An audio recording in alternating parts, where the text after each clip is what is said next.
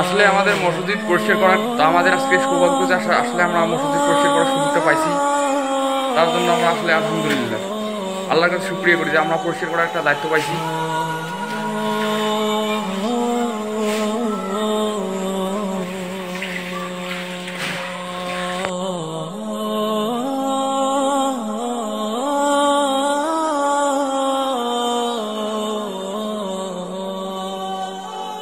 Oh